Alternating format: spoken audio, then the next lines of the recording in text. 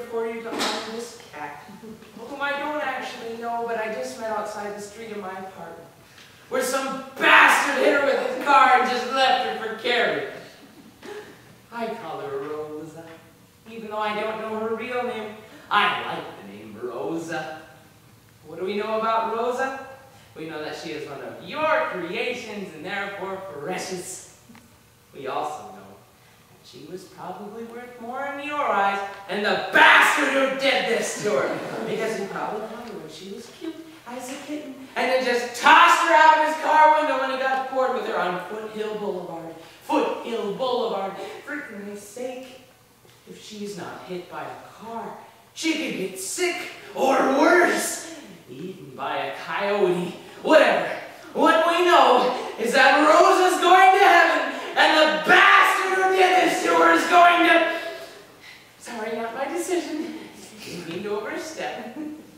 What we can tell by looking at Rosa's lifeless corpse is that she was a Maine Coon, which, in my opinion, is the most beautiful breed of cat you have ever thought to place on this earth. Now, sure, you gave breeders the gift of scientific insight so they could create the Maine but still, your fingerprints are all over this. Well, we can tell by the stripes on her tail and the distinct dark patches over her eyes, she probably wasn't a purebred Maine Coon. And her nose looks a little longer than what would be considered show quality. Come to think of it, she's probably not a Maine Coon, but she is clearly a... Holy crap.